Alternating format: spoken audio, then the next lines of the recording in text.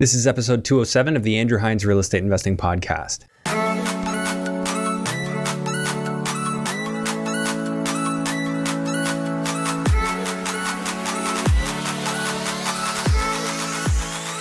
Welcome to episode 207 of the Andrew Hines Real Estate Investing Podcast. I've got Cam Griffith back on the show. Cam's a local guy, and I wanted to have him back on the show because he and his wife were both forced to make a decision where they left their jobs in the past couple of years due to some of the mandates that were happening.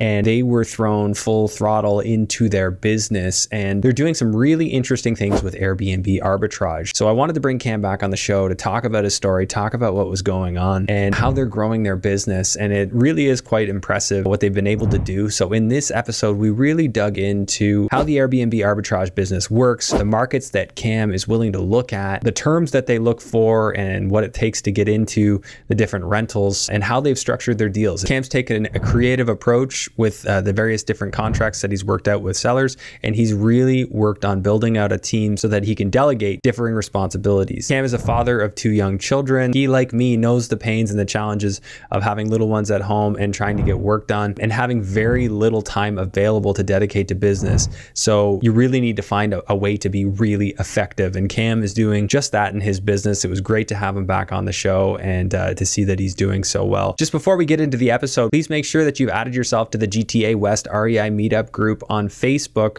so that you can get notifications about our monthly meetups in Hamilton, Ontario. If you're in the area and you'd like to join us, we'd love to have you out. A totally free event to come chat, shake hands, and hear people's stories. It's always an event that I look forward to, and then we would love to see you there. If you're watching this on YouTube, make sure you hit the like, subscribe, notification bell, and leave a comment. Let us know what you think of the show. If you're on the audio platforms, you know what to do. Five star rating and review would be greatly appreciated. Thank you so much, and let's jump into episode 207 with Cam Griffith. Hello and welcome to the Andrew Hines Real Estate Investing Podcast. I've got Cam Griffith on the show again. It's been, I don't know, what, a year? Yeah, almost a year, Andrew. Okay, yeah. So Cam, I know you've been busy. Uh, you have partnered up with a guy that we mutually know, although I actually just know him through Insta, but I've I've chatted with him uh, many times. And you were one of the guys that, you know, your job was kind of in question, I guess. I, I don't want, I don't want to say more than you want to say. If I don't, yeah. do you not want to get into that? No, that's that's fine. Yeah, uh, yeah I, I, had a I had a job, a career. Uh, my wife as well, actually, and um, yeah. just just current current climate, um, as we all know, personal health choices yeah. I made the decision to just kind of walk away. I was based in the Oakville Hospital. I was a sole yeah. elevator mechanic there. So some pressure was being put on me. Um, and I was going to get kind of shifted out maybe to Hamilton. They were talking to Fasco. So people were putting pressure, yeah. and I guess it was happening to your wife as well. Yeah, and yeah. and you guys just decided, and and this is something. I mean, I've spoken out on this many times. Like people had the right to make their own choices, and it's just absolutely obscene what what happened. Yeah, and yeah. So so you were in that pickle and I just think it's so inspiring that like you went out and you said, "Okay, screw you. I'm going I'm going to go make it on my own." And you're doing it. Yeah. And I just thought, "Hey, got to have you back on the show. Appreciate it. we got to talk about this. I appreciate it. Well, first off, yeah. I'd like to say it's a humbling experience being here, uh, and I'd like to thank you for having us because, uh, and you know, I'm representing my whole business here and everyone in the team.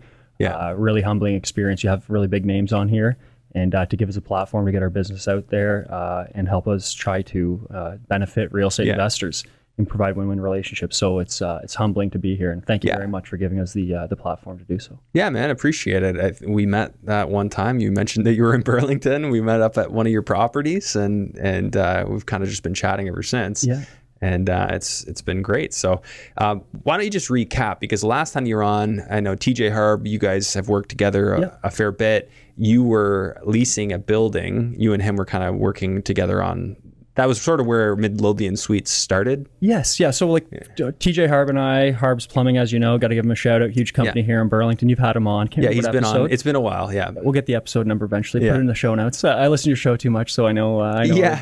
Somebody just search Andrew Hines TJ Harb. You'll find it. Yeah. So uh, TJ Harb, we, we went we grew up together, and we were kind of the uh, the kids in high school that just got right into trades, pushed right out of high school. Yeah. Um, got right into the trades. We stayed in town. A lot of people in Burlington went to university, so we teamed up, bought real estate very young and we were working together. And I essentially property managed everything for him, uh, as well as you know put some capital in. He'd put some capital in, it, as you know, his renovation experiences team, and all that. Yeah. He'd provide all the uh, front end yeah. labor, and uh, boy, is he good at that. So we would property manage, and we bought a building on Brant Street. Uh, we beat Elite Developments to it actually. Okay. Um, who are just just uh, yeah, they they're the right right across the street. Yeah. Yeah. Uh, they purchased a post office on Brant Street, and they didn't quite get to this, and I was putting, uh, I was actually going to put the garbage out. It's fate. Uh, the guy who puts our garbage out called in sick. Uh, can't make it this morning, so I had to run over. I don't mind getting my hands dirty mm-hmm. once in a while. Uh, I see it as a strength, but it's also you know it can hold you back. And I was driving down Brant Street. I saw the coming soon sign up on the building, and the market's fire hot. Signs aren't even making making it to the to the lawns mm-hmm. for the mm-hmm. most part. And I called TJ that morning. I said, "Hey, let's triplex on Brant. You know, let's have a tickety yeah. boo." And we we went hard, overpaid, and we ended up getting that. Uh, we burned it and essentially and then sold it, right? Yes, but we burned it, and essentially I was like, you know, he's like, get you, we're, we're getting through the renos, get mm. get the tenants ready, right? Get get get these people in here, and I'm, what am I sticking anyone in here for? Uh, it just doesn't make sense. I.e., long term tenants going through the residential tenancy agreement, and yeah. I, I obviously listen to your podcast. Uh, specifically, Aaron Bay inspired me. I have no problem saying that. Uh, he kind of got the wheels turning. So I said, mm-hmm. this probably make a pretty good Airbnb, and I just ran with it uh, I told TJ, hey man, I'm just going to rent this building. He was all for that, and we just kept the ball turning. Um, it's done very well for us. Uh, we we grounded ourselves. We you know put the systems systems into place and mm-hmm. put a little bit of sweat equity into kind of learn those systems ourselves, which was great. Mm-hmm. And we got the triplex up and running. Converted one of our other buy and holds that I also own yeah. TJ Harb uh, over, and here we are. We're at 17 units uh, managed 10, right now? Yeah, uh, not like arbitrage, four managed, and we have 10 coming up in the next few months, four months, and we're looking to keep growing. So 17 are arbitraged? Uh, 14 are arbitrage, so 13 are arbitrage, four are managed. Okay. Okay. Uh, so, wow. yeah, so that's been within the year, and I can say uh, yeah. big uh, reason we've hit that growth is uh, our partners, Jay and Miho Ravel in Yokosuka, Japan um, what he's brought to us in kind of turning us more into a business operating yeah. like we should be. Um, one thing Jay really brought to us, and he he said, uh, you know, the lifeblood of our business is data, it's money, it's data, it's knowing where we're going, mm-hmm. and uh, that that data and reviewing it every month is is our blood test. Yeah, um, and he's he's so money or numbers driven, and it yeah. really instills confidence when you're ready to move forward and the deals are there, but you don't have the time to look at the numbers because you're so caught up in the grind. Yeah he's really just uh, just propelled us. It's incredible how someone halfway yeah. across the world yeah can play off each other's strengths. So Jay Jay's in Japan, yes, and uh, I, he messaged me a, a, long while back, and we chatted on the phone one time, and and he uh, yeah he wanted to get into investing here, but he's from here originally, but he he wants to obviously he has a family in Japan, yep. staying there, uh, but doesn't didn't like the prospects of investing in Japanese real estate, wanted to be able to invest back here. Yep. And yep. Uh, somehow you two found each other.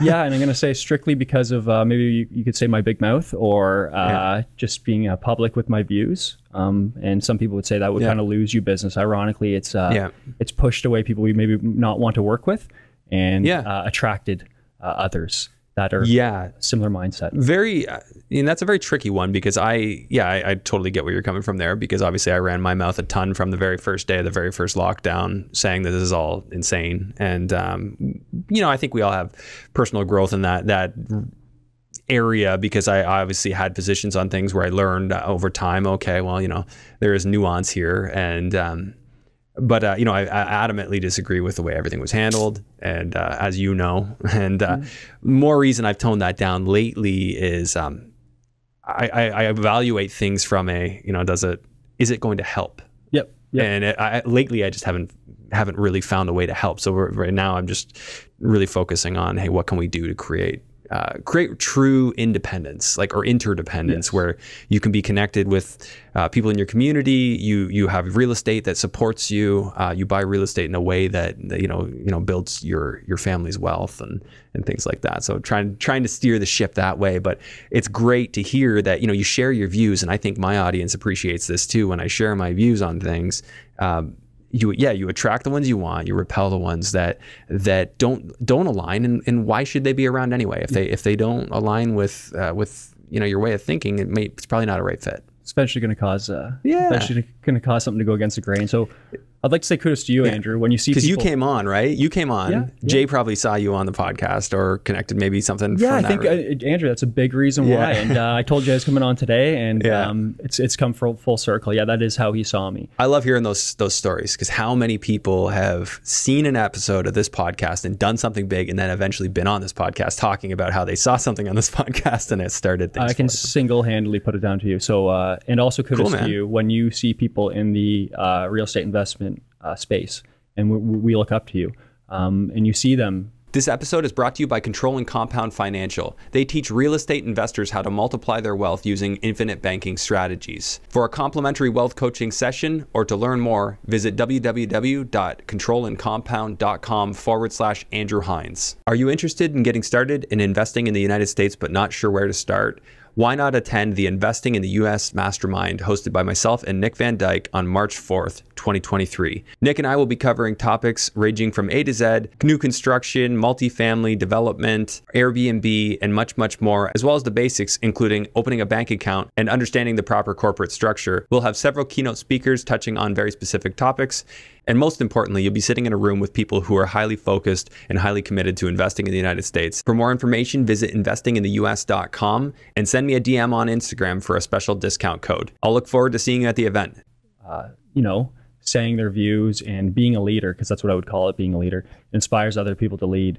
And uh, that's what I saw in you, and I've seen in many other people, especially in my network. Mm-hmm. Uh, and it's just uh, it goes a long way. So kudos to yeah. you, and it's it's kind of reaffirm that I should, if I feel that I'm making impact with what I'm posting yeah. or saying or, or making public, that uh, I should say it. And yeah. um, anytime I've kind of zippered my mouth shut, it's uh, never kind of worked out. It ends up being painful eventually, anyways. Well, I mean, like, look what happened. You know, your your job obviously got pinched, and and you had to make a decision. And I think a lot of people I, I got this a lot from people where I would say, Hey, you know, this is my position. What do you think? They're like, Well, yeah, this is how I feel, but I could never say that like you do because you know my employer, you know, or because. I have a job. And I'm not discounting that because I know that pressure on people. They people have kids and they rely on that income, and that's why I think the proper solution is is to learn from what we just went through and understand that your job is a, is a huge risk exposure. Yes. Being employed is like having one source of income. Yep. Like no investor does that. Like, you know, when people talk about multiple streams of income, your income, you know, a job could be one source, but there should be, you know, how many more sources? What I find ironic uh, with the socialist environment I was in, I was in a union. Mm-hmm. And what the union taught me, a lot of kind of the old school union minds, is uh, we, they lay a lot of guys off at Christmas, right? And a lot of the guys are related to mm-hmm. people, so they're laying your little brother off on Boxing Day, or sorry, on Christmas Eve, right, right before the mm. holidays mm-hmm. for a few months.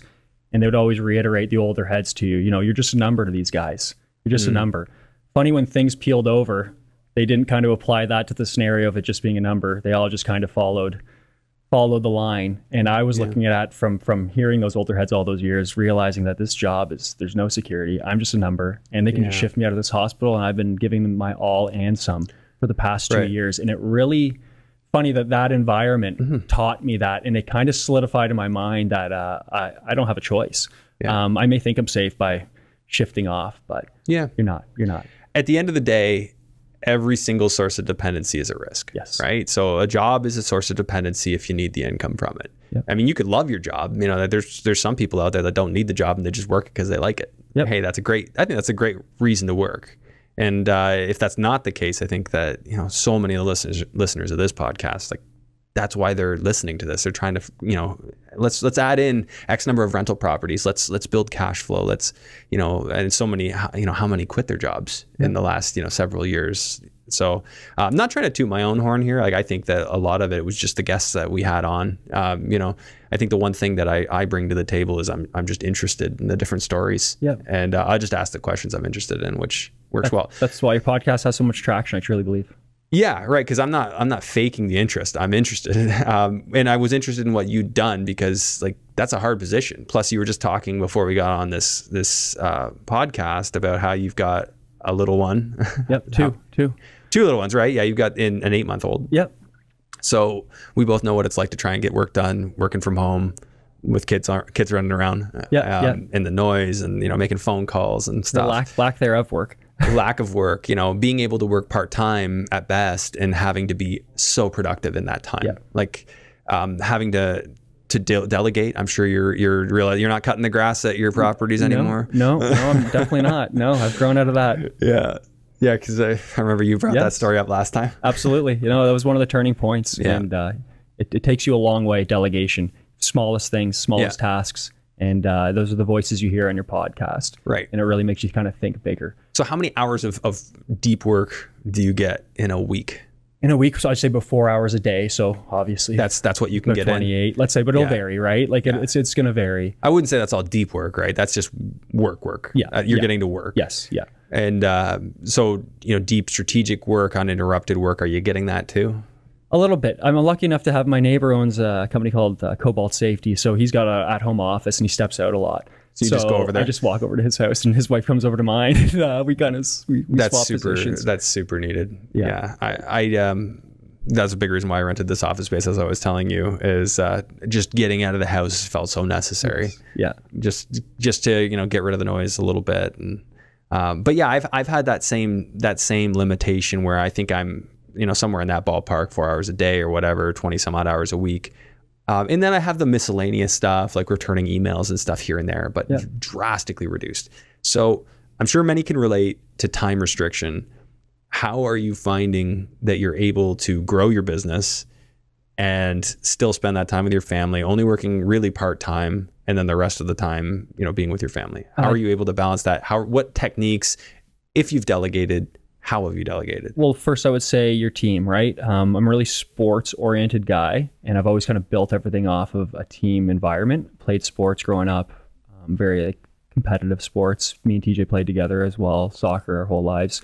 So when I look at anything and I look at real estate, I kind of look at it as a team and just just implementing the right the right players mm-hmm. in the team, right people that complement each other's strengths. So seeing what Jay brought, mm-hmm. and then Jay bringing on the bigger mindset of uh, virtual assistants, accountants, bookkeepers.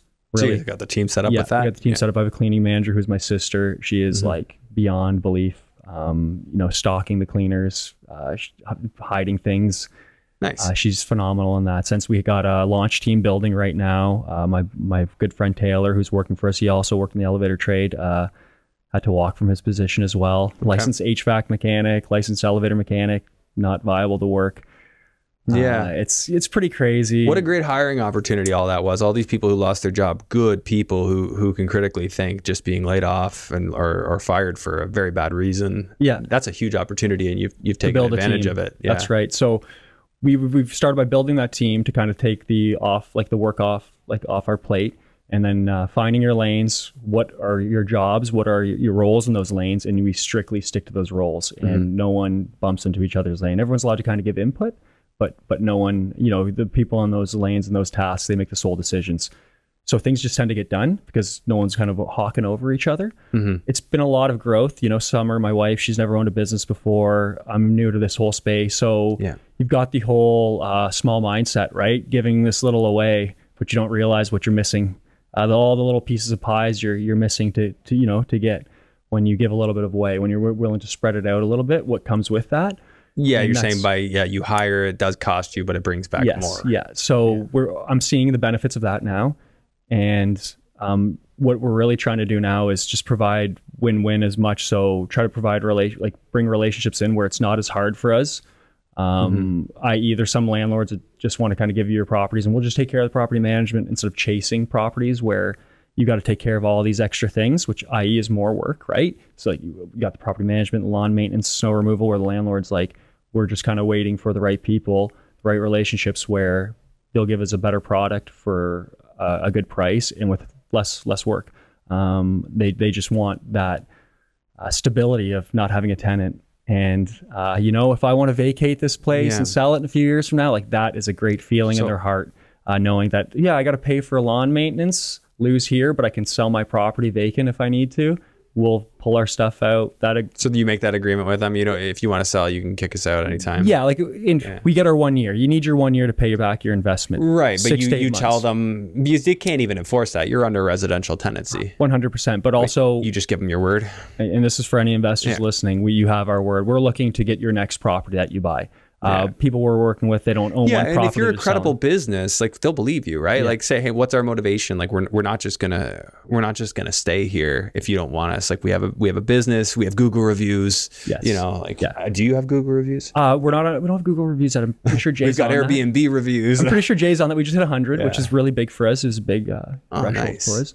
Um, but just trying to look at the big picture. We yeah. know this isn't going to be your last property. We know you have a portfolio. And this is what I I think we had this conversation. It's all about how you how you sell. If you get people face to face and they see you're a real a real human being and like you have you know you have a vision and you, you know you're a straight shooter, I think they just respond to that. Yeah, yeah. It's funny. The yeah. people that respond to it are. Um, the, like the more educated they are, the more they understand it. The more they've been in the space, the more they understand it. Um, I lost, like, literally lost a uh, joint venture partnership. I'm not too sure if it's because of my opinion or our business model, but or the kind of the climate. But the tenant left back for Ukraine before the the, the uh, war broke out, and um, I just said to my joint venture partners, I was managing everything, like completely passive. They had no problem with me doing everything. Mm-hmm. Uh, that was fine until I said, you know, I'll just rent the building, the the, the home and uh, well, you can't do that. Well, like it's Airbnb, professional executive rentals. We know riffraff. We have things to mitigate that noise noise monitors uh, yeah closed bookings not open bookings and stuff okay so you were like, with the airbnb we're out yeah. we're out but they felt comfortable yeah. having a tenant in there that could have fair enough yeah. Like, you know so hey, it's not for everyone that's, that's no okay. no but it's what i'm finding is a lot of people that are kind of more vested in the space understand it more and understand how it's less risk and uh, really more benefit and more control when you're dealing with a professional. Yeah, I I think professionalism goes so far with a lot of these landlords, especially a lot of the ones that don't have a, a lot of properties. Yep. It's just they just have a couple, they don't have great systems, and their properties really are a pain in the butt to them.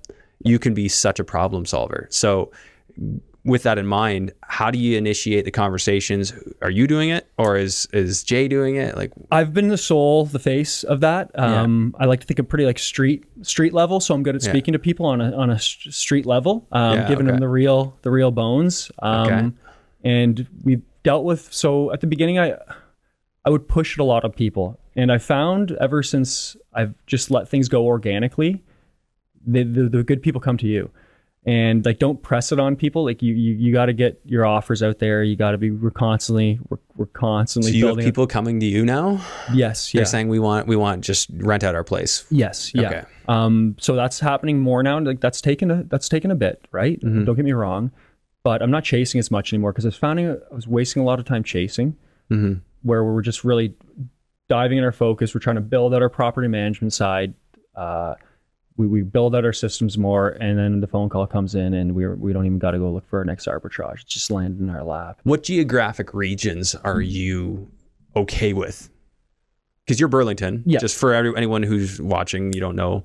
Uh, so you live here, Bur- Burlington, like Aldershot area, I yep, think. Yep. Um, obviously, very easy to manage locally, but I mean, if you have team, you can expand. Yep. Yep. We are we are in Barrie right now. We were in Chatham, Kent we might go back there this summer. We are working with a doctor out there that travels a lot, so we, we took his place for like five months. It was a pretty pretty cool spot for a summer summer rental. How do you make a, a deal work for five it months? Was, it was like fully furnished. So he had it. He's custom like, home. You, you, can just take my place and manage yeah, it for five yeah, months. Like, I think it's up for sale right now for like two point seven. So it's like a custom home. Okay furnished. So you just went down, took some pictures of his place. So you yeah. already had this relationship. He had he had the pictures up. So we're like, you know what? We're not even gonna invest money in. So pictures. he just gave you his pictures. Yeah. So you guys just needed to find a cleaner down there. Yep, cleaner, which he had. Somebody he, who's a handyman. Yeah, he owned like. So he, you literally used his team. Yeah, he he owned everything, and they were looking at the space, and his wife had just the. Uh, I think the cloud overhead where she didn't want to do the management side of it. She, she, everything in. So they were cool with the Airbnb thing. Yeah. And, and what deal did they work out with you? You just you we just paid them flat.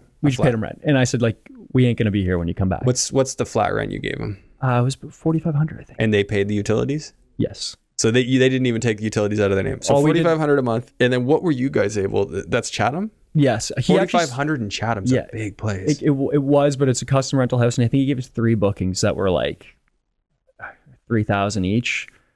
So he he sent them yeah, your way, private bookings. So here here uh, He already had people lined up. He'd tried it before. He'd listed it yeah. before. They just weren't comfortable yeah. with the whole management piece. And then you're going away to enjoy time with your family in the US. Yeah, they didn't want to worry about it. That's that's exactly okay. It. So what were you guys able to bring in for those five months on that place? I think we made about thirty percent return, twenty percent, thirty percent return on what we invested what did you have to invest? Oh, you're just saying like just, your rent? Just, yeah, yeah, on, on top of the rent. So it was uh, it was a pretty handsome so short term. Let's simplify that. So if you're making forty five hundred a month, were you or you're paying forty five hundred a month, were you were you grossing like six thousand on no, average? No, no, it was it was about we're gonna say four, I think, three to four.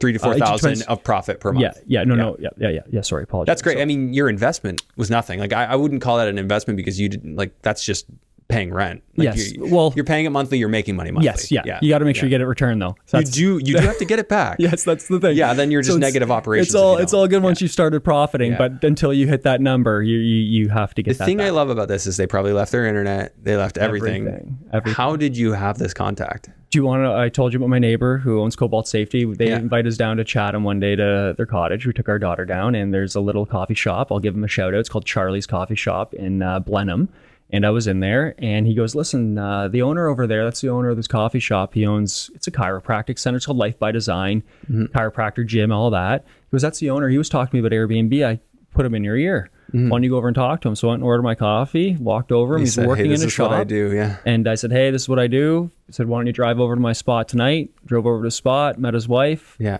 Actually showed him your podcast, which gave me great credibility. Oh yeah. And oh, showing you, yeah, you yeah, on the podcast. Yeah. yeah. Uh, so I just said, you want to find more about us? We have a podcast. You could listen to us. Yeah. And they, I think, did their due diligence, and uh, we were there the next week buying linens, turning it over. That's and awesome. It was within within a week and a half. He was like ready to leave, and um, organically happened. And that's the things we're trying to chase now things yeah. where it's organic. We don't want to put in all this you extra work over here when when we know. And you'll get to that critical mass where you just like you're you're not even out, outwardly looking for business at all. Yeah, it'll, yeah. it'll all be uh, just coming to you. Well, I think we're seeing now how crucial yeah. the systems are. Yeah, and there's no point even working if you're working silly. So why not build our systems? Why not build out property management, which doesn't cost us anything, where we can still provide so much value so you investors. guys, you guys still are the management centrally, but you're who are your boots on the ground? Like I guess Chatham's not a great example because that guy had all the contacts, but Correct. now you can use those contacts for other places. Correct. Yeah. Yeah. So now you now you're set up there. So we've looked in Chatham, but it's not like the friendliest market. Obviously, it was a unique. That was kind of a unicorn, right? That's a, it's a weird market to do that in, but and that's where this conversation is naturally going to go is how you're picking markets in this environment. But and and with all the bylaws changing, yeah. Chatham's obviously not going to be first to the table with with restricting Airbnbs. You know, it happens in a place like Toronto first. It could take years before that reaches the smaller markets. When it goes to bylaws, I'll say I'm not one for following rules. So I just I think I said in your last like just beg for forgiveness, don't ask for permission. Oh yeah, there's a certain degree of that. Like do and I'll I'll very firmly agree that you know you you push push the envelope uh, to a degree that you're comfortable with knowing if something were to happen that you can handle it. Absolutely correct. Yeah. So what's nice is we know if we're building out our we're building out our team, we're building out our kind of network, we're always gonna have somewhere else to move that furniture. Right. So if you get if you get shut down, you write your lease in a way that or do you just talk it through with these guys? I just talk it through. See, I, I like that so much better. I do not like relying on a contract. Of course, I'm not saying don't have one. Uh, that's not advice. Have a contract. But for me, the handshake and the agreement is so much more important. Those are what are we agreeing with. on here? Those are the people we're working with. Yeah. And uh, we don't want to kind of work with anyone else. It's just, yeah. we, we, and we've learned that just off a couple. Uh, just doing a couple with people and maybe they don't understand it or then they're being control freaks or they want to know too much. And when you just have people that know how much value you're bringing them they know the pain of property management. Yeah. They know their their their profits. You know that property management yeah. can eat into your profits. So what's the shortest you would do um, an Airbnb agreement on a property? Absolutely one year now. Now the okay. Chatham was like a complete unicorn. We were growing, yeah. and it was he's like I've already got three off market yeah. bookings that would essentially break us even. I'm like, well, if we put this up midsummer, uh, it'll it'll get a few bookings to turn as that profit, which it yeah, did, that and that's just going to be what people who are for some reason traveling to Chatham, visiting family or whatever. Yeah, it was it was funny. Two American families came up, and it yeah. was on the water but had no water access, so it wasn't like you know, he had the hot tub, the pool, the the, the, oh, the gym, handy. yeah, the outdoor like workout gym. That sounds well. amazing. Actually, I, I, would probably want to visit. Yeah, he had the vacation. sauna, and it was a unique home too. Yeah, but to be truthful, like I don't know who who would go out there and I was but it was happening. It, but it was happening. So and we, you guys weren't asking them, speaking to them. Like I guess you were not really directly interacting with your guests anyway. Right? Yeah, a little bit. And we did look up obviously comps, listing comps, yeah. other short-term rental comps. We use mm-hmm. a little mm-hmm. bit of AirDNA. It only provides you so much value, AirDNA, right? Um, yeah. So we, we we did our due diligence. This can work. We we have faith we can get one, two, three bookings on top of what he's providing, and that happens. So we're not afraid to go back. If he ever needs our hand, we'll definitely meet him at the table and see if there's a middle ground to be found. What I would say on top of that is I think you spoke about touched on where else we kind of want to expand to or where we're mm-hmm. willing to work. Definitely places where we can scale. Um, yeah. My mind's grown from that, willing to kind of go and jump around all these random places, cottage, country. Okay, well, yeah. even if I go up to Muskoka, right? How many places am I going to get in Muskoka? Like, I'm sure the one would just turn yeah. an insane profit, but can we actually scale there to like a large degree? We're really trying to scale, and our model is is not a. I think everyone knows there's two types of Airbnbs. There's the kind of unique experience Airbnb, which Carmen brings. Mm-hmm. Everyone looks up to her, and if they don't, they're they're, they're just daft. Yeah. So unique experience Airbnbs that are really really unique, and they charge a premium dollar. And then there's that um, base model, yeah, uh, hotel essential service that we're providing, and that's what we provide. Oh, so, so, you're doing super basic. Yeah, super well, basic. with the exception of the Chatham clean. one. Yeah, super clean, super basic. And I have to give full credit to my wife when we did Brant Street, I wanted to kind of get the in on Brant sign going on the side and, and really make it that unique experience. Yeah. And she's like, Cam, like, it's nice, it's Brant Street, but it's there's no outdoor patio. There's there, there Yeah, you can still make it quaint. For sure. Yeah. And she said, I think we were best sticking with this hotel model and uh, we mm. ran with it and we won't we won't expand outside of that until we really dialed yeah. this down. Okay, so so give me an example. Is that one's no longer in your portfolio? Yeah, no, it is. It Still is. is? Uh, okay. Elite Developments own it. I'm their tenant. Okay, yeah. Uh, so uh, I've been working with Sam. So you beat them out on the buy. Yeah, beat them out on the buy. They, they bought us out, and it's been a win-win for everyone. Yeah. They're they're gonna they're gonna make their build. Uh, That's interesting. Hopefully not soon. yeah, so so they're they're looking to tear down the building around it and that building and build out something. Yes, I think they bought ours, six eight eight Brant, which yeah. is a fiveplex, and then the post office as well. So I think they they offered us actually yeah. when they bought us like a couple of units. Um, I don't yeah. know the size of the building. I mm-hmm. believe it's actually uh, it's in City Hall now. They've they they put okay. forward the proposal. I would love to get Sam on this show. Um, from what I hear, he uh, he doesn't do the, take those kind of requests, but uh, mention it to him because uh, I, I, would just I would just sit here and listen for an hour. One hundred percent. Yeah. Uh, he uh, so for anyone wondering, he he does he'll he'll find um, developable developable land and develop medical plazas where he can combine doctors and walk-in yeah. clinics. And yeah. uh, from what I hear, that's a that's a great business. Very savvy businessman. I Very don't know. Savvy. I met him the one time in the meeting. Don't know a ton about him, but I know. Yeah, I've met him a couple of times, but yeah, it's incredible what they do. And you yeah. see their portfolio. I think they have a lot of money from the Middle East coming over, and they're they're they move it's, fast and large. one thing which was cool and it kind of made me realize the power of this model. When you're talking to a developer and you can't believe you're sitting in a developer's office and they're buying the property off you six months later after you've purchased it right? You're not even done the reno. Um, and they're saying I, I propose them listen i have a short-term rental business. I'm going to stay as a tenant if that's okay. And he looks at me. We usually board the windows up. These these tenants can cost us 50 grand to try to build. Like we're trying to build. They know we're developers. Yeah. They won't go anywhere unless we cut them you, a check. And you, they would have to trust you. Anyone calls them, anyone messages them on, uh, you know, uh, Insta DM or, a, or an email, even a phone call, they're probably going to dismiss. But if you're in a conversation with them and you say, "Hey, I'm a real person. I'm here, and this is what I do." And oh, by the way, here's my website. Yeah. yeah. Here, here's my, uh, you know, my uh, Airbnb page. Look, we're super hosts. Yeah. Like they're going to see, oh, you're a professional. Okay. Yeah. yeah I'll talk to you. And and I'm thinking, well, he's got more units. So we haven't. yeah. Oh, he has probably a lot of units. I, sp- I, speak to his property manager, Samir. I haven't. Yeah. Uh, I've, I've tried to get in there. Uh, you, you, should after that's just right next door. You should go over there and just say hi. no, no doubt, no doubt. Yeah, absolutely. Yeah. So, uh, trying to trying to obviously go deeper with him one day. Yeah. But with trust, right? So, yeah, like it's all trust. Like I think a lot of people are gonna they, they probably have the idea to do an arbitrage business, but they they think it's something that they could just do as a side thing. But I think that you have to treat the business as a serious business eh, because if you don't develop the credibility, you'll never go anywhere with I it. I think that's I've owned a home since I was 20. So I think owning a home since I was 20, cutting my lawn since I was 20, just yeah. just knowing what it takes to own a home. Yeah. Um, when I can speak to someone, like you can BS your way through something, but yeah, you know when someone's kind of real. And I truly believe like I have an advantage on a lot of my competition because uh, I've owned a home, I've been a homeowner. I know what a homeowner is looking for.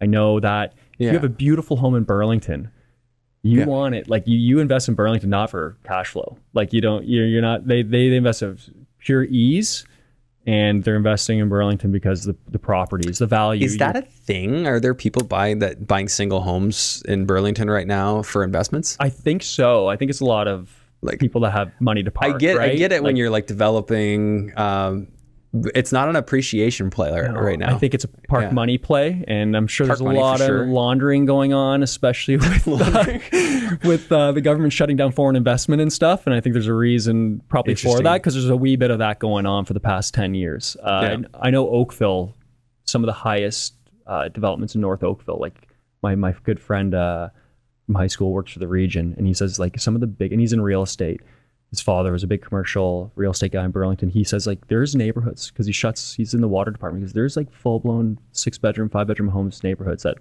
are owned by Chinese uh, investors, and no one lives in these streets. Like yeah. there's one hockey net and there's one kid playing hockey on a whole street of 30 homes, and they're empty.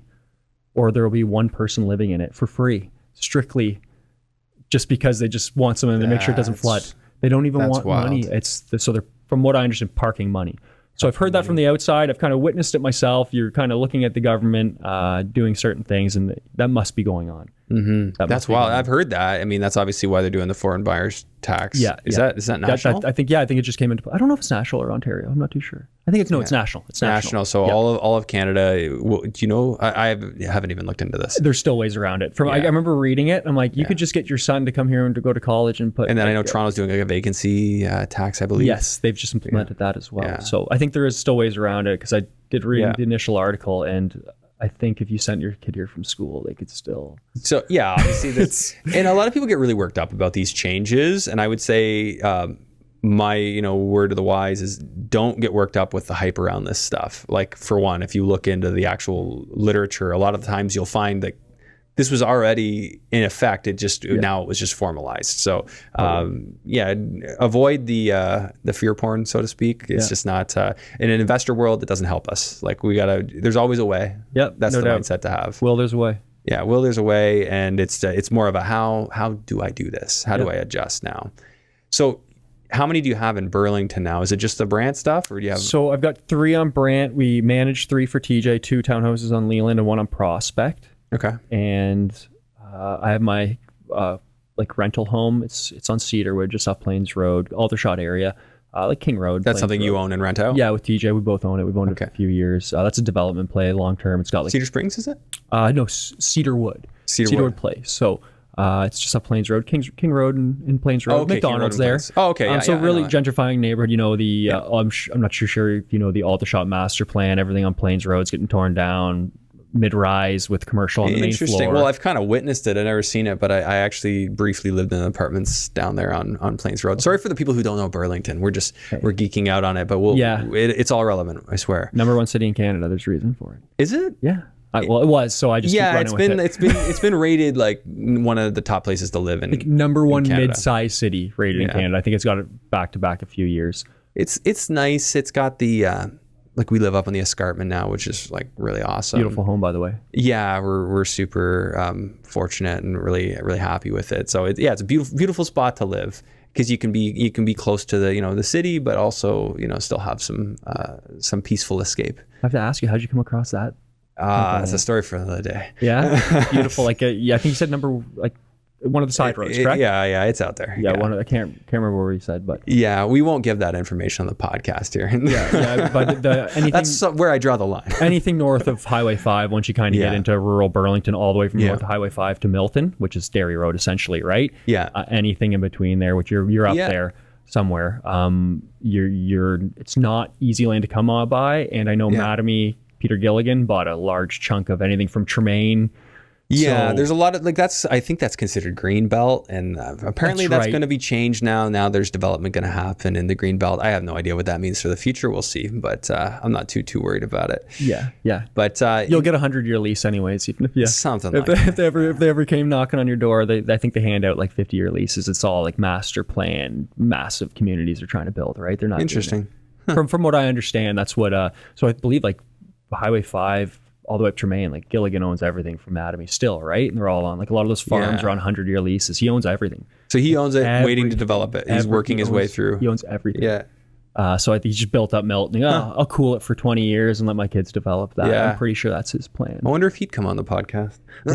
yeah, seriously, he's a pretty pretty big name. I uh, I just asked my my assistant uh, because I, I, I watched um, a YouTube channel that had Peter Schiff on. And it wasn't like a huge channel. I'm like, I want to get Peter Schiff on this show. I wonder if he'd come on. So I asked her to try and find out uh, how they book because that would just be like probably for me one of the top guests I'd want to get. I, am just in this moment. I thought of that today. I'm like, we might as well try. You know, mm-hmm. like I have no doubt you'd be able to land them. No doubt. Yeah, no just doubt. just start putting it out there because you you don't get if you don't put it out there. You have to so, try. You have to try. Peter, if you're not listening, and if you are listening, either way, come on the show for yeah. sure. Um, but anyways, okay. So Burlington.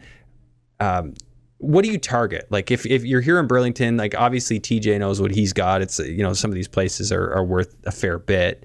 I don't know. What would you say those properties that you're renting are worth? Like six, seven hundred, eight hundred? Oh, I don't even know. I, I townhouse, one townhouse in Burlington. What's that going to be? So well, it's come down, but yeah, I mean, it's, it's probably like, six, seven, right? So, yeah. um, and uh, the fourplex, I, I don't know what a what a two bedroom condo would cost you in Burlington downtown now, but if you were purchasing, I don't know. It would be a lot. it would be not, like five hundred plus. Yeah. So let's let's just assume like that. Like we'll talk about the townhouse. Like what what are you targeting as as a as a profit level, or or are you just offering market? No, I'm rent? just managing. I'm managing those. Oh, you're just managing. Yeah, so those are, that's where we've delved into management. Okay, that's what we're really trying to concentrate on until we get the right mm-hmm. people mm-hmm. that fit our mold. That yeah. we don't have to force things on them because yeah. you need that. You need to try to get that one two months rent leeway at the beginning for your setup. Yeah, you you, you need to try to bar, bargain out of the deposit. So if you're, you know, if because I'm credible, I don't need to give you a deposit. Right, you know, right. Well, and you guys you guys go back. Yeah. But um, so in that scenario, you have no investment because TJ furnishes it. No. So then I know a lot of guys talk about 25% for Airbnb management. Is that what you guys are targeting? We, we got a special rate for him, but that's yeah. Obviously, you guys go back and you can do yeah. things a little different. Yeah, yeah, and like he could supply me so much value. Uh, yeah, and he has supplied me so much value. Uh, mm-hmm. Uh, just mindset alone, being here, yeah. I wouldn't be in real estate. A big part of it if it weren't for yeah. him. He exposed me to a lot of it. Mind you, it's up to you to keep keep turning. Right? Anyone can get exposed to it. Yeah, uh, you got to make something of it, but. Mm-hmm we, we provide value back and forth and that'll never end. interesting. Interesting.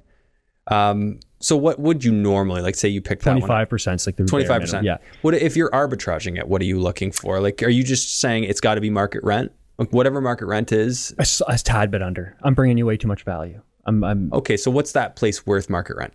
I would. I think I offer. I initially offered him market rent, and he goes, "You know what, Cammy? Do you mind if I make a bit of money?"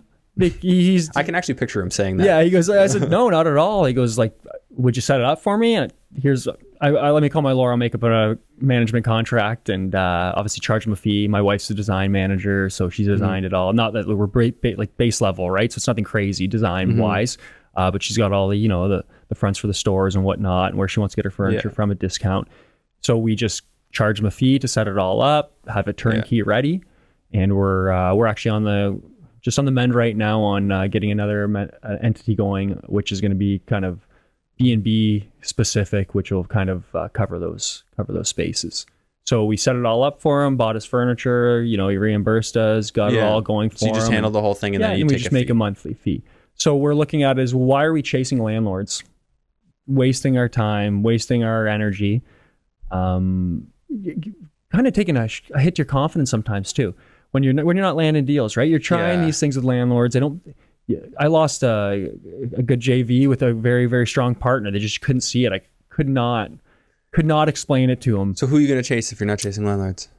Well, I'm waiting for them to come to me oh, now, oh, and we're saying. looking to pursue more or less property management. People that want to make money themselves. Yeah. Well, if we can scale up a property management, cost us nothing. We're still yeah. building our systems. We're still keeping our guys busy. We're you know we're giving our guys more work you're taking a very Spencer and Ashley approach to it. I think like they do both, right? Yes, like they'll yes. do management, they'll do uh, yeah. they'll do, do joint vent or what do you call it, arbitrage? Yeah, but I was dead set on not doing management at the beginning. It's funny how you, you learn. Oh, I do that. Twenty five percent, I do it. Yeah, no, you learn, and uh, there's a lot to it, right? It's yeah. it's small, but if you truly take pride in properties and you want to take well, and you're building a business out of it, yeah. then then it makes sense. It's there's a lot of work involved. If you're you don't do it do as a one off, no, because then it's not even worth it at twenty five percent. No, no, no, not at all. So we're, we're we're we're going, and we're just trying to focus on if we can build up property management, wait for the right people, yeah. the right fits. Yeah. You know, we don't want to regret something after a year and move. Like that's not something you want to do. No. Or or well, find, every new city you have to you have to coordinate moving trucks, take your furniture from storage lockers down huge, here. Huge waste of time. Or you buy the furniture down here. Where do you store it in the meantime as you assemble it all? Personally, I have my like I have a whole shop in my garage, racking systems, staging areas. Okay, like, so you got enough signs, space at your house. Yeah, like signs, like property one. If you have two one bedrooms going at the same time, you can't fit two three bedrooms in my garage. But yeah, I got truck in there too. So you got all that. Then you're loading it into a moving truck. You're either doing it yourself or paying somebody to go up. Plus you have to set it up. So you guys are probably both involved. So I'm actually not involved in the setup at all. We've just launched, which is like hard for me to even believe, Andrew. That's how far you push my mindset. We've just launched four, five, six units. The last six units I've not stepped foot on. I've been. So you have people you've hired. Yeah, yeah. The people my, you had mentioned. Yeah, my launch, and he's a really credible guy. He's a HVAC mechanic. He's a yeah. licensed elevator mechanic. So yeah. he's like way too overqualified, and he's a car guy, which Jay really aligns with. Jay's a car guy, so he's really anal about how detailed his cars are and stuff. So yeah. I knew that about him growing up. I bought my Camaro off his dad, so I knew how anal he was with with like cleanliness mm-hmm. and keeping things nice. And I think you've heard this before. When you hire someone, like try to meet them at the parking lot, have a tickety boo with their car, right? Yeah. Uh, how you keep your cars, how you're gonna keep your oh, keep yeah, your space, yeah. and he's a very clean guy. So yeah, he's he's over kind of skilled for what he's doing, but he's enjoying it. He's enjoying the freedom, and he's enjoying not having to be bossed around and uh, not being told what to do with his bodily autonomy. so it's it's kind of nice being able to put trust in people like that. Uh, we sent him out to a good friend of mine who moved down to Florida, uh, and he came back here and he's applying for the whole green card space. Same same page as all of us. And he goes, "Would you manage my basement if I?" I said, "Yeah, I'll set it all up for you and all that." And like yeah. Taylor went in there and he's like, "Dude, this guy's water heater's about to blow." Yeah. This guy's got to order new water heater, and, and he's yeah. like, so like he's we're truly providing value to people. Like he, he's he's spotting as oh that's that's handy. That's a good guy to have. And he was out of the country. I'm sure he would have so, known it was ready to go. Like if he was home, but he's not home.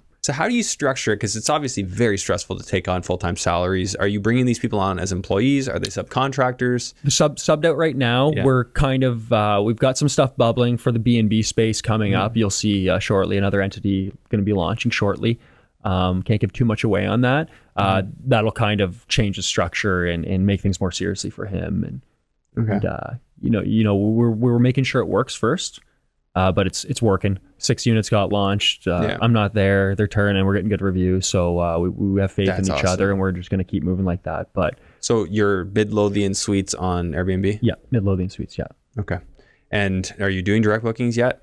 Like, do you have we're, we're trying to. We're trying to. Um, think about direct bookings you got to have a really good website platform. Really good website platform. And if you speak to Spencer and Ashley, which we, we have no problem um, paying for mentorship, uh, like I said, I was with Ben Mirasan for a year, did my mindset levels levels never met him just just being around the space mm-hmm. and thinking like way big like yo i think way too small just think like way bigger um when you uh sorry where was i going with this what was the question i've completely completely uh, lost track. Well, you, were, you were saying that you're you were willing to spend on mentorship with Spencer and Ashley. So we actually spoke to Spencer Ashley personally. Okay. And we had spoke about direct bookings, and there is a license in Ontario, Socialist Ontario. You need a license to take direct bookings off of multiple platforms.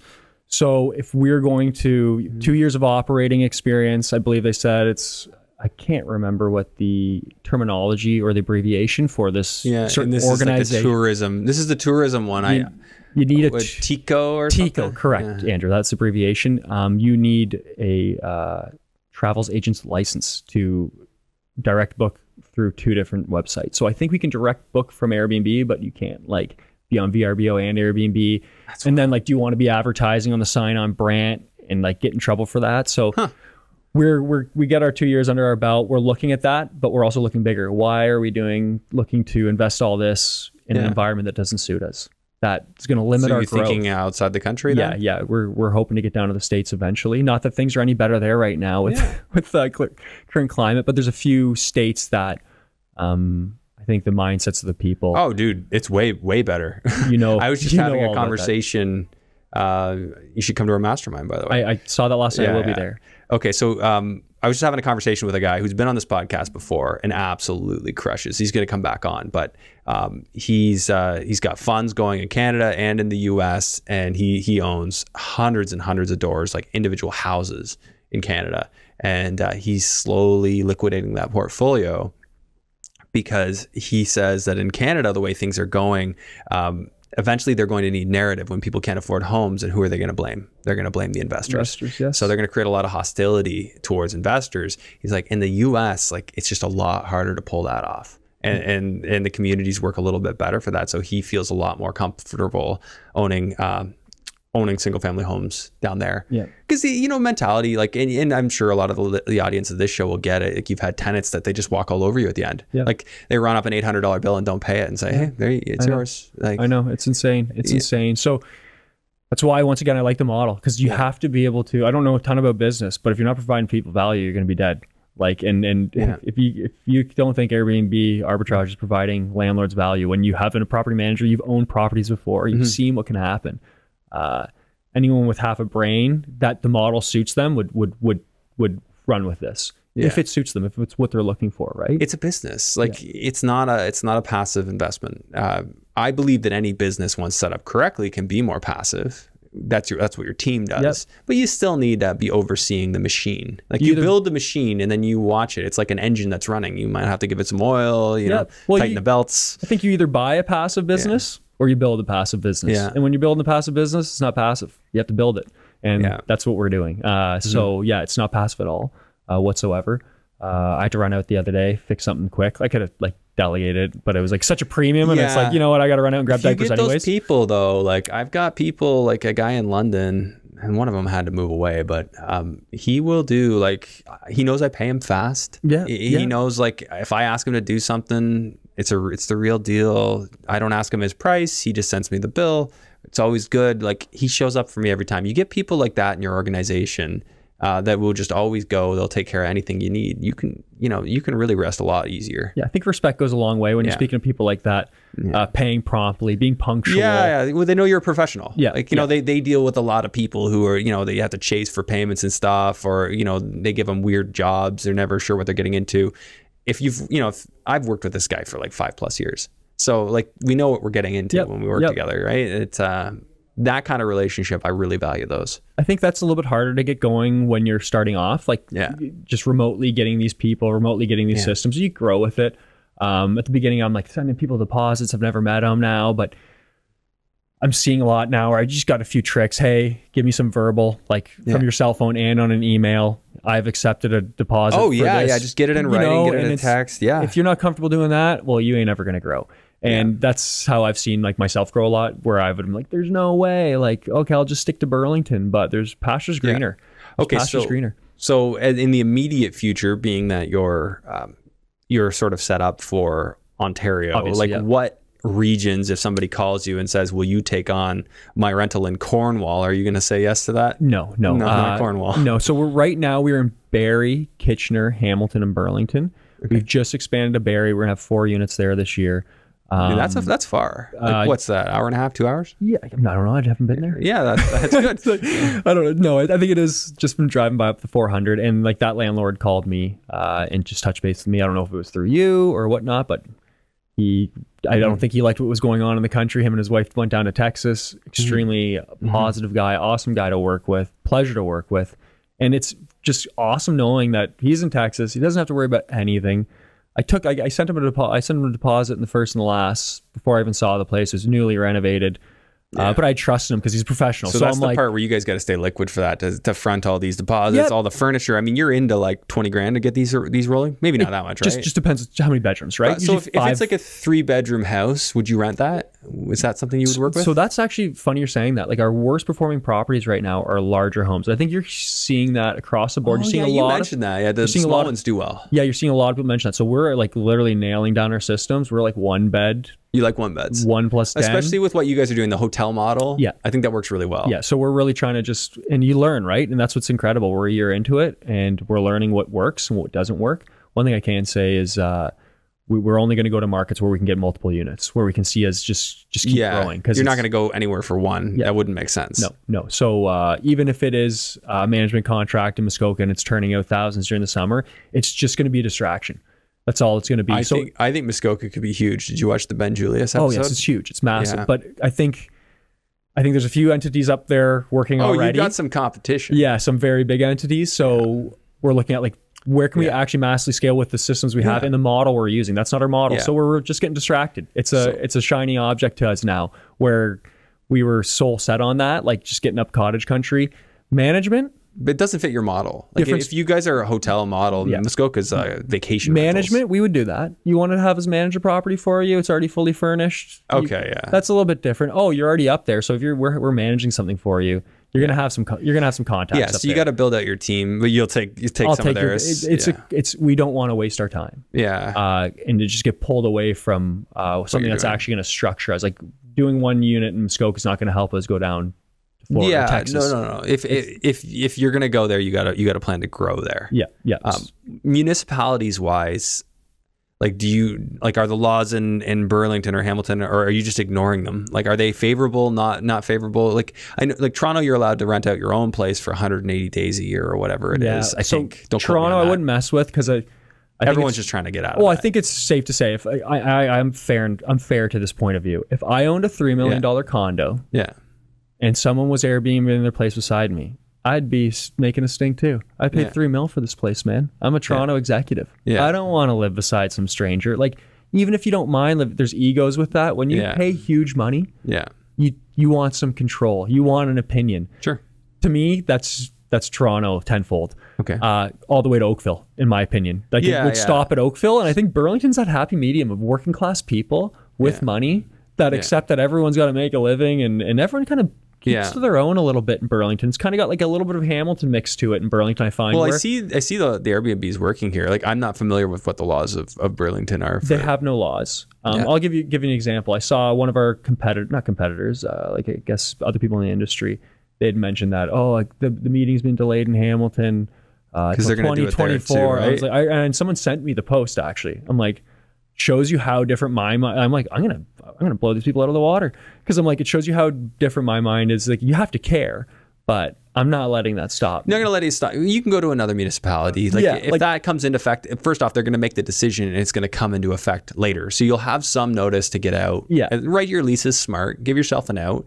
But if you can make money in the meantime and then shift out to another municipality, keep doing that. I have no problem telling the landlord if something drops in the city and I have to leave, I'm going to have to leave. I can't operate here anymore. I'm not paying you the rest of your one year. They should lease. get that. They yeah. under, you're yeah. going to leave professionally, and I yeah, you, we'll clean up. I've got your paint codes. We'll be touching up when you leave. The fact I'm asking for your paint codes, they're already like, yeah. "Whoa, this is unbelievable." Yeah, they're like paint codes. What are you talking about? Would you like us to do your fire inspection this year and change your furnace filters out for you too? Just let we got your size document.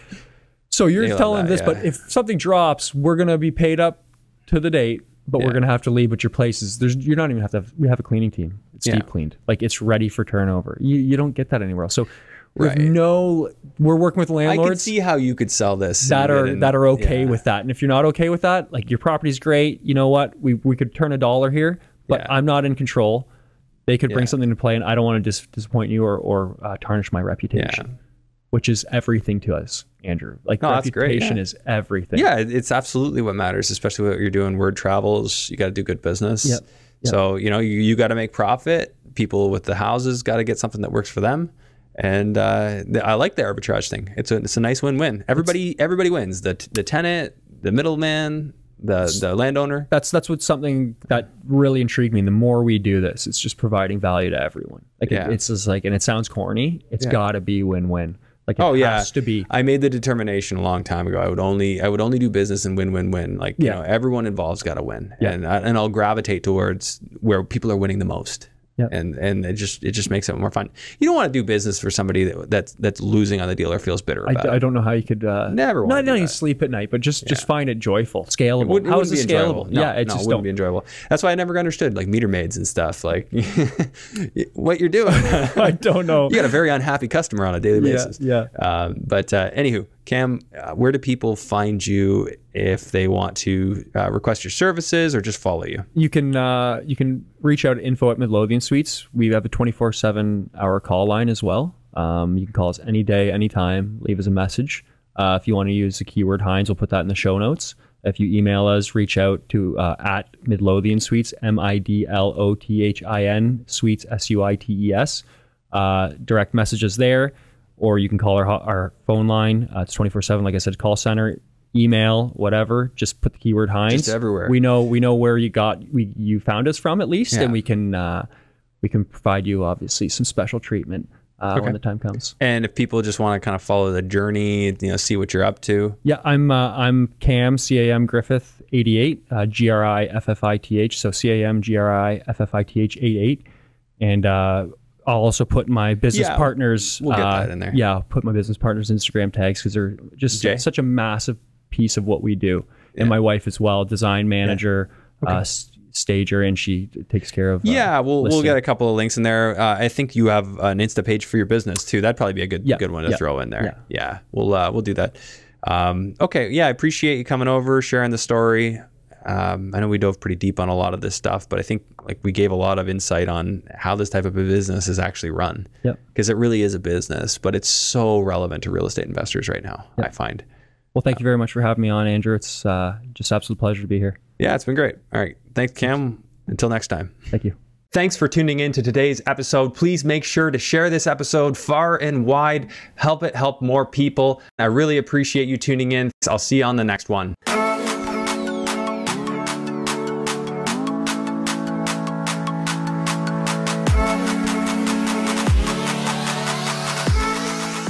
There are a lot of people out there talking about the infinite banking strategy and whether or not it makes sense for them. To find out what it's all about and if it's a fit for you, visit controlandcompound.com forward slash Andrew Hines, where my audience can gain exclusive access to books, podcasts, and webinars tailor made for real estate investors. Are you interested in getting started in investing in the United States but not sure where to start? Why not attend the Investing in the US Mastermind hosted by myself and Nick Van Dyke on March 4th, 2023? Nick and I will be covering topics ranging from A to Z, new construction, multifamily development, Airbnb, and much, much more, as well as the basics, including opening a bank account and understanding the proper corporate structure. We'll have several keynote speakers touching on very specific topics.